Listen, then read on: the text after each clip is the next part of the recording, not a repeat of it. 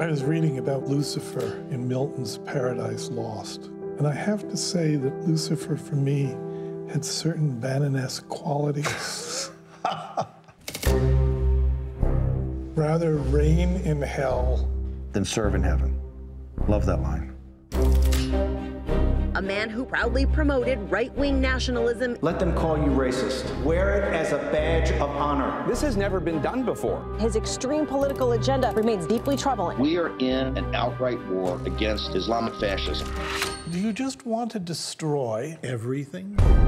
The permanent political class that control our country is going to stay exactly like it is until you have true disruption. You need some killers.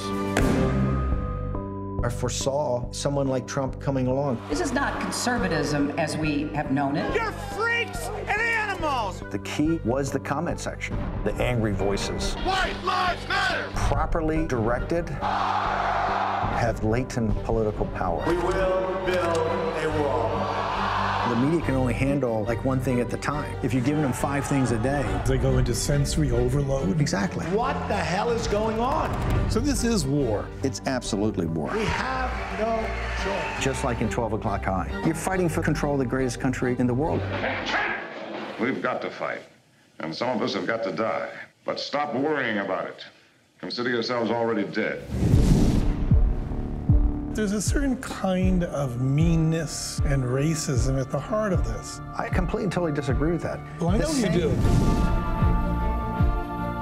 There's an inherent contradiction in the views that you hold. The way I've read Hang on, hang on. Now you get me worked up.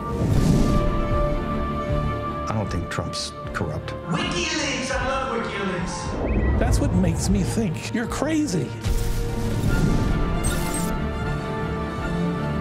Could you possibly vote for Hillary Clinton?